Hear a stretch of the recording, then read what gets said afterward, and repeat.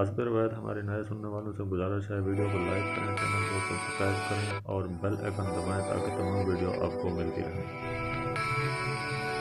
PTI ने एक बार फिर एहतजाज की तैयारी शुरू कर दी है, जिसमें इस बार एक अनोखा एहतजाज करने जा रहे हैं पीटीआई मुख्तलिफ़ ग्रुप में शेयर की गई तस्वीरें और पैगाम जो चल रहे हैं व्हाट्सएप ग्रुप में उसके मुताबिक ये है कि ईद के फ़ौरन रमन रहेंगे और मुस्तैद रहेंगे हम। एक सब्ज साए तले मुतहद रहेंगे।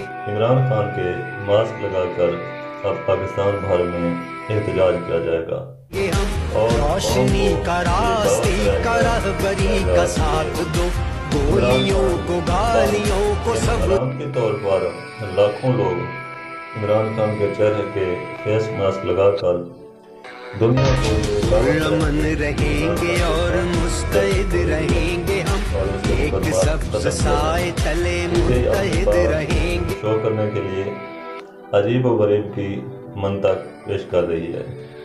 और रोशनी का रास्ते का रहबरी का साथ दो।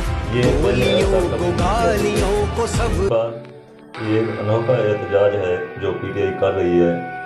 तो अगर ये होता है तो यकीन रहेंगे और मुस्तैद रहेंगे हम। एक सब्ज साए तले मुतहद रहेंगे कंपेन शुरू होगी जो इमरान खान के हक में रहेगी। देखते हैं रोशनी का रास्ते का रहबरी का साथ दो। गोलियों को हुकूमत भी इन्हें दबाएगी ये दबते हैं या नहीं दबते, ये आने वाला वक्त ही बताएगा कि इनकी हमत अमली किस हद तक कामयाब होती है।